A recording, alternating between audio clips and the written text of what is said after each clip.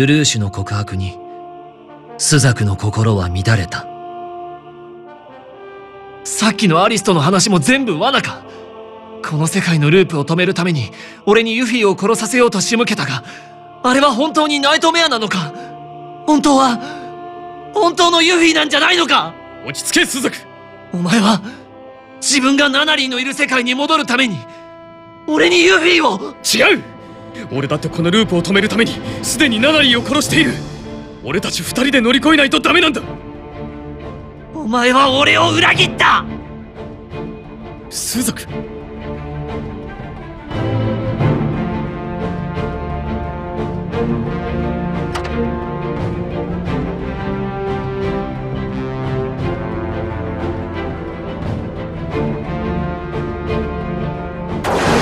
お前を許すことはできない。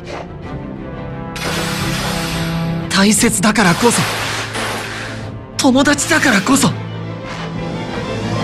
は嘘をついた君を。俺を裏切ったお前を許せない。お前は元の世界でもこの世界でも嘘をついた。デレーシュ。お前は嘘にまみれている。俺は嘘つきでいい。だがいい加減気づけ。この異変の元凶を倒せるのはお前だけなんだ。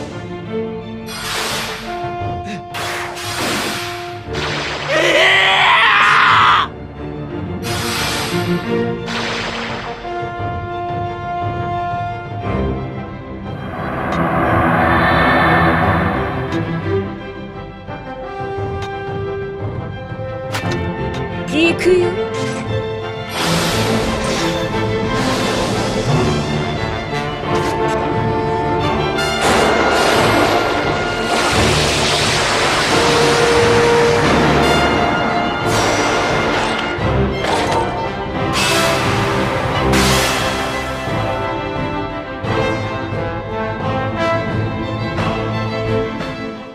ルルーシュを引き倒すとスザクはその方を思い切り殴りつけた。お前は一人では何もできない！ああ確かにそうだな。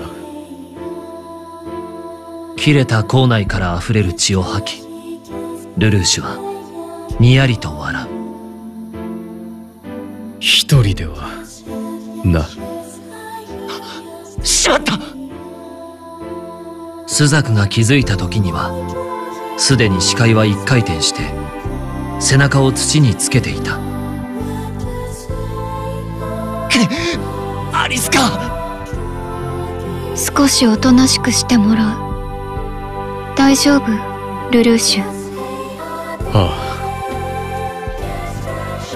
ルルーシュは悲しげな瞳でうなずいた